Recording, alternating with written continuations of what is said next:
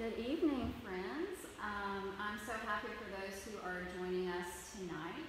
Uh, tonight is just me and Malia, and we have chosen to be in our chapel or our old sanctuary. Um, lots of this is a very holy and special place for me. This is the sanctuary when I first started worshiping when I was 11. This was the place that we worshiped, and this is the sanctuary where Joey and I got married. This is the sanctuary where we held my father's uh, funeral. This is a sanctuary full of stories of our congregation and a sanctuary that has seen this church and this community through a whole lot of change. And so I thought there is no other place I would rather be during this time in our um, city and our nation than to be in the place that grounds me the most. So I hope that you will join with us in spirit and in the comments to greet each other, to lift up prayer concerns or praises as we spend a few minutes together in holy worship. This is a song by Josh Wilson, and after the live stream, I'll post uh, the link so you can watch the video him singing it. But it's just a beautiful song to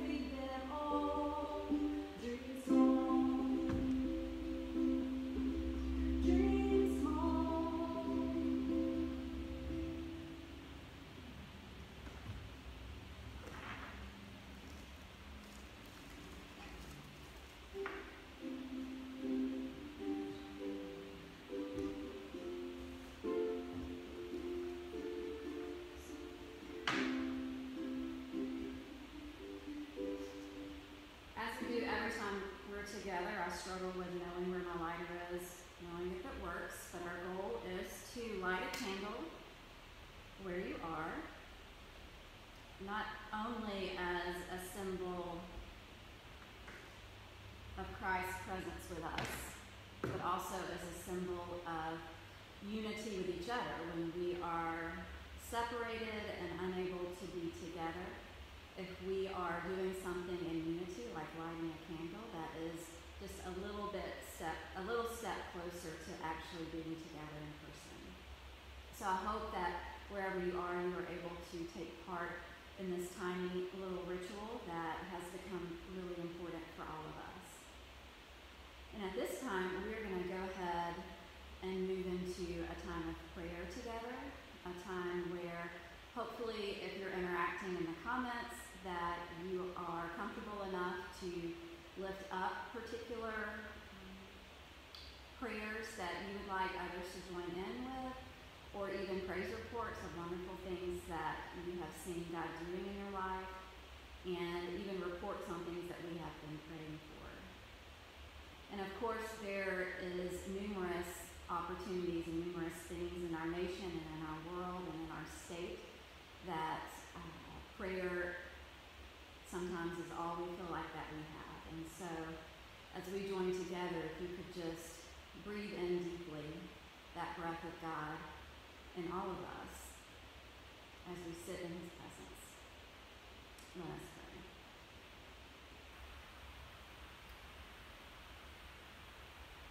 God, we come together as a body of believers. We come together as brothers and sisters in Christ. We come together with different stories, different perspectives, different ideas, different hurts, and different wounds. And God, we have been going through uh, the crisis of pandemics we have been living through the sadness and the fear and the deep and hard questions of racial riots and concerns in our country. God, we have heard the voices of those who are hurting.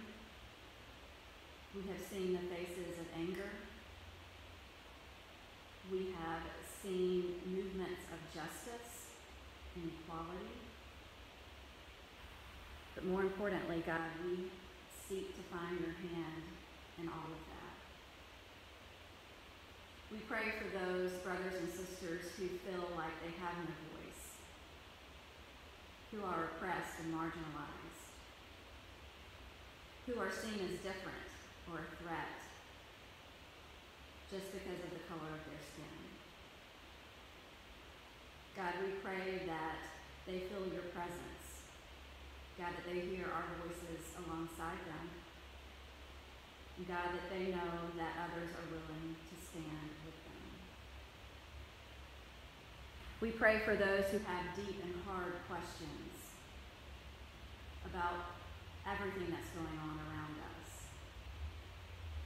Those that are shut off and isolated, cut off from society because of their vulnerabilities, the pandemic, loneliness, depression, those that are business owners that are feeling the impacts of all of the crisis that is happening. God, the people of God who want nothing more than to connect, to be in person together, to share those hugs of encouragement, and share in one spirit. God, we pray for patience. We pray for patience and understanding, patience in hearing stories. God, patience in waiting for change to happen. Above all else, we are thankful for our foundation of faith. What we know to be grace and love, forgiveness and reconciliation and the power of redemption through you. May we recognize those parts in us that need to be reconciled so that we can walk as a whole person in faith. We ask these things in your name. Amen.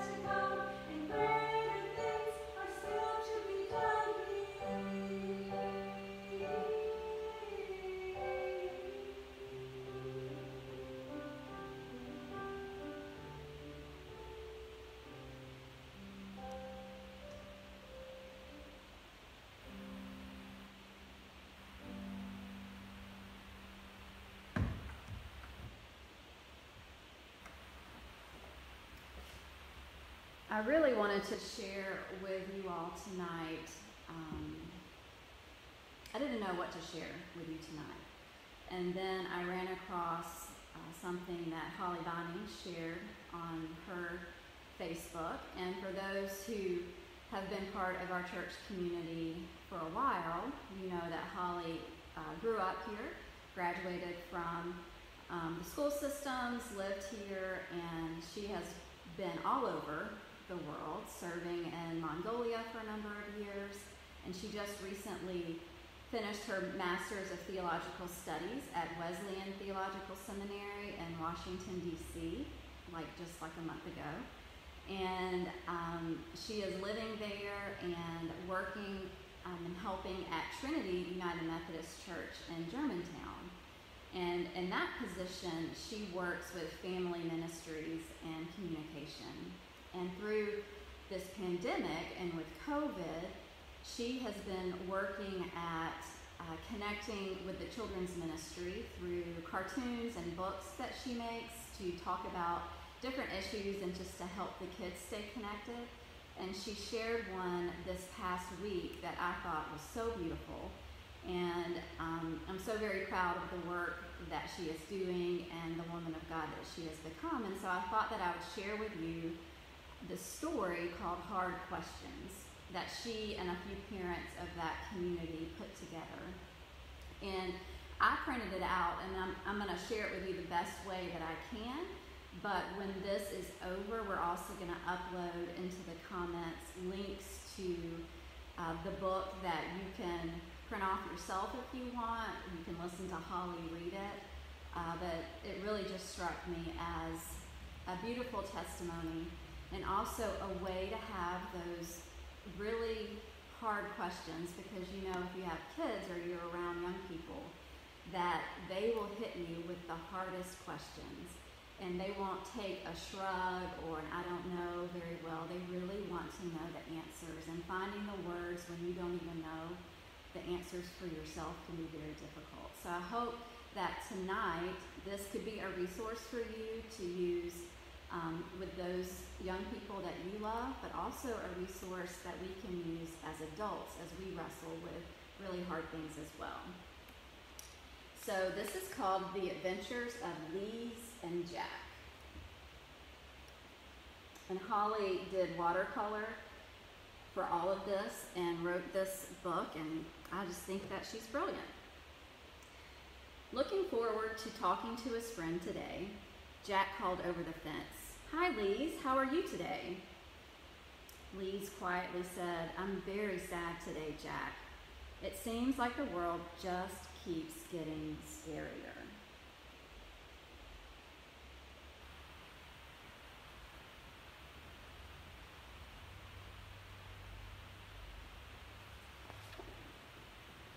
Worried about his friend, Jack said, What do you mean, Lise?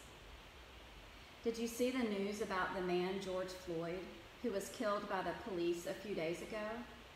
That really scares me because my skin looks like his.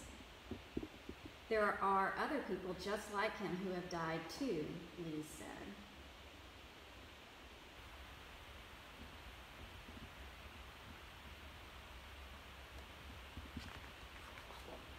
Yeah, I saw that, but I don't really understand why it happened.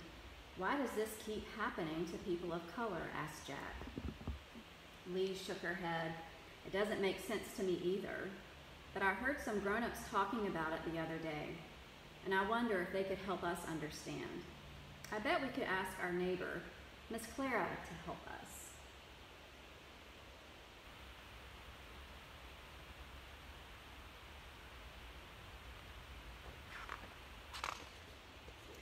Jack and Lise called to see if Miss Clara was home. Hello, Miss Clara, are you home? And when Miss Clara came to the door, they could tell she was sad. Hi, Miss Clara, how are you today? asked Lise. Hello there, Lise and Jack. It's so nice to see you, but my heart is really heavy today. George Floyd is another black man who was killed by the police for no good reason, said Miss Clara sadly.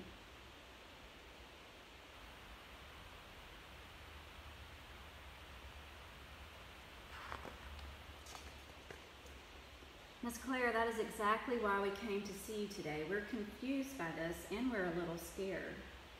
Can you help us understand why this is happening? asked Lise and Jack.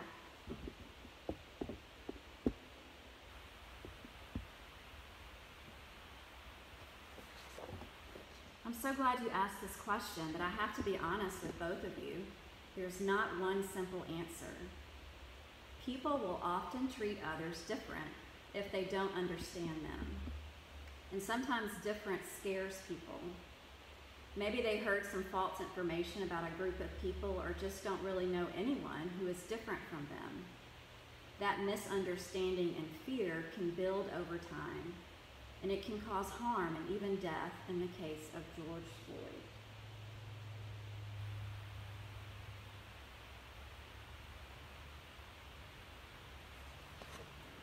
After listening to Miss Clara's words, Lise asked, So you're saying, if someone doesn't know anyone who looks different from them, and they've heard bad things that are not true about people who are different from them, they might hurt people who are different from them because of that false information.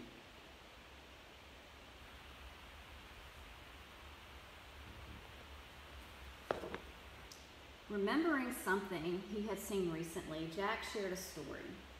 I saw some kids playing together on the playground the other day, and suddenly I heard one kid say, Don't play with him. He doesn't look like us. And that little boy left the playground crying because no one would play with him after that.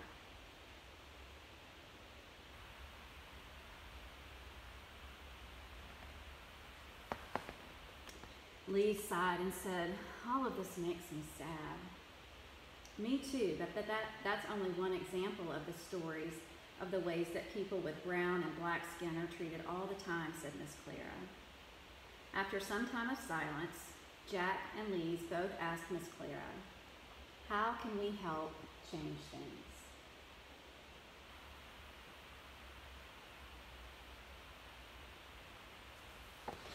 This is a great but hard question. It can start with you and how you treat other people. Did you know that every person reflects the image of God? asked Miss Clara. We had heard that, but what does that even mean? said Jack and Lise.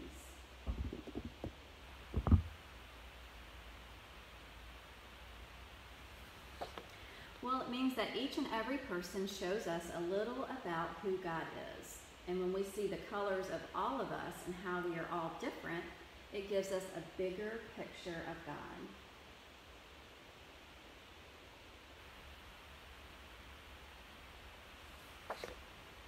So it's good that we're all a little different, asked Jack. Miss Clara smiled and said, Our differences are the best part of us.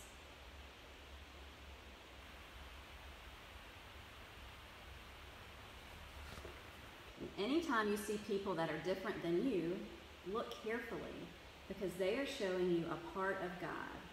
And you can help by reminding other people of this too, Miss Clara told Lise and Jack.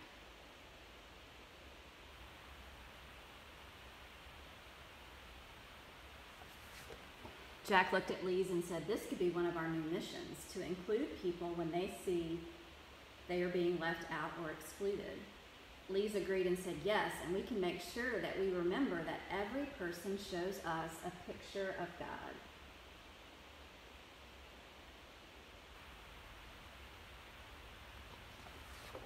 Miss Clara smiled at Lise and Jack and said, I'm so proud of you two for asking hard questions. You're very brave. And did you know there are some other things you can do too? Please tell us. We want to keep helping in whatever way we can, exclaimed Lise and Jack. Great. This is something you can do with your families at home, said Miss Clara.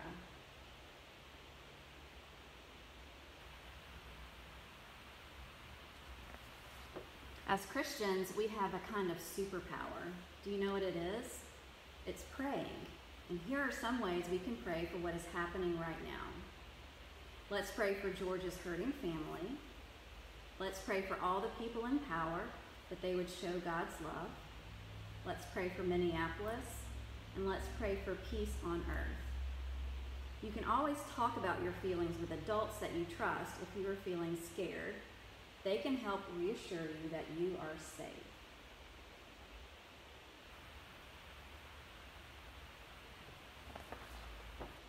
I know you're scared, but you have the power to pray, and you have each other to remind you when you forget, said Miss Clara. Feeling empowered by their conversation with Miss Clara, Lise and Jack went home to share with their families what they had learned.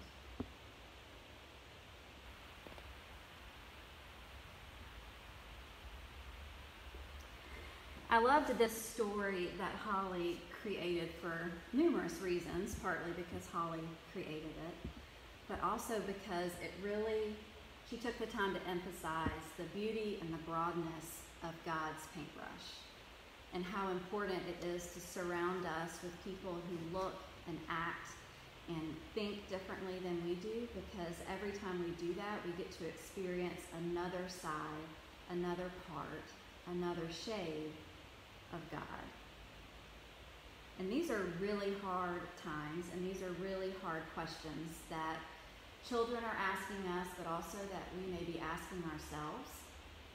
And I think wherever you may be in your own journey and wherever you may be in your perspective of what is going on in the nation and in our state, that um, we have a responsibility to do more, to do more than just to look the other way, to do more than say that that doesn't apply to me or that doesn't have anything to do with me.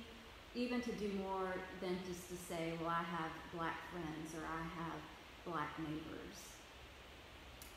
If we know anything about the life and the love of Jesus Christ, we know that he was all about the people on the fringes, the people who were oppressed, the people who were misjudged, the people who were misrepresented, the people who were hurting, and the people who communities said were not worth enough to be part of.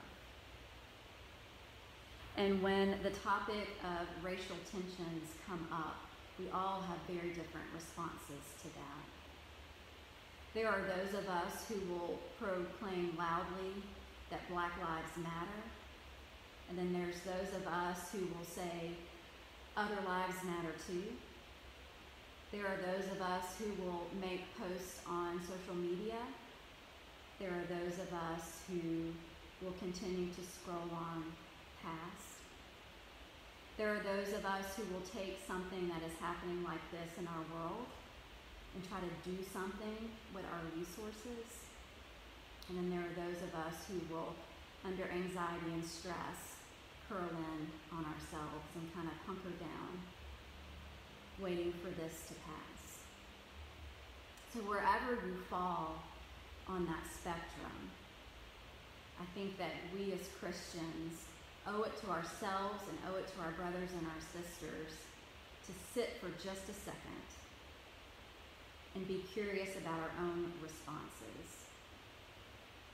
I'm not an expert on racial history, I'm not an expert on racial tensions, but I do know that there are times when I bristle up, when I can feel my defenses rise and that heat get up in my face.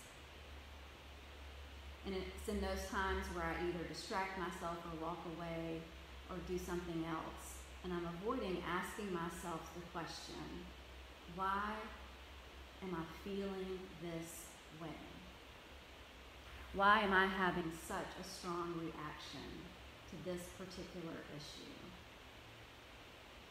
Because if we stop being curious about our own responses, we will start reacting in ways that misrepresent who we are as humans and especially who we are as Christians. So when that young, tender, innocent little child comes to you and says, What is happening? Why are people so angry? Applaud them for that question. Because our kids are asking questions that we're too afraid to ask ourselves. And don't be afraid to have the conversations that also include, I don't know, or I'm trying to learn or I wonder what we can do to help those who are hurting. Have those conversations about how people are different, how not only we can look very different from each other, we can sound very different from each other, but we can also think and believe very different from each other. And that's not necessarily a bad thing. Applaud your child for showing empathy, for asking hard questions, for wanting to do something that is helpful, even if they're wanting to draw a sign and put it in their window, even if they're wanting to find their own voice because of the relationships that they have. Sometimes our kids teach us more than we can teach them. And I can tell you right now, they are watching us and they are listening to our conversations, and they are observing our responses to hard things. And so, my prayer is that we are showing them that we can be brave in our own questions, that we can make uh, important decisions on the organizations and the people that we support that we can make brave decisions on how we show support for those who can't seem to support themselves. How we talk about our brothers and our sisters who are crying out in need. And what we can do as a body of believers to stand alongside people, even when their story is different than ours. working in mental health and being a counselor for about 20 years has taught me the most important lesson. And it is the lesson to listen so that you can understand instead of listen so that you can respond. Every day I hear stories that all of a sudden I have an opinion or advice that they should take or to correct them for telling something wrong or that they shouldn't feel a particular way. And every time I have to tell myself, to take a breath and to hear what is being said. This is their story. So I'll tell you what I'm choosing to do. I'm choosing to listen. I'm choosing to collect my resources and to read. I'm choosing to um, examine my own, what they call implicit biases, you know, those snap decisions that we make that we don't even know that we're making. I'm choosing to um, respond to my brothers and my sisters in works of compassion and grace. And I'm choosing to let them lead the way. And being willing to stand alongside those who are oppressed, on the margins, left out, ignored, treated unfairly and unjustly, because I believe that this table of Christ that we gather around whenever we worship, I believe that it's big enough for all of us. And when everyone around that table looks and sounds and thinks a little bit differently, every shade of God is represented. So if you want resources, if you want new things to read or podcast or anything like that, I hope that you'll reach out to me. If you want to have hard conversations, if you want to really challenge why you're bristling up, why you have snap responses, feel free to reach out. Because I think the only time growth and change happens is, when we're uncomfortable. And I think right now we're all pretty uncomfortable. Amen.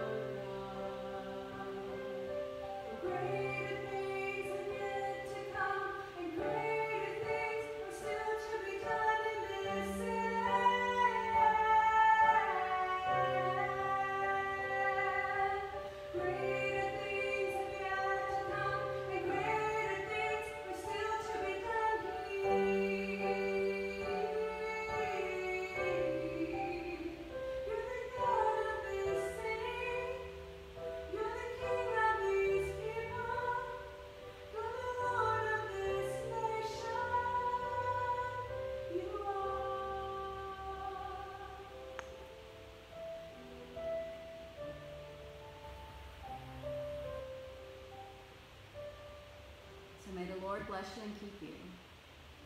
May the Lord make his face to shine upon you and be gracious unto you. And may the Lord lift up his countenance upon you and give you peace.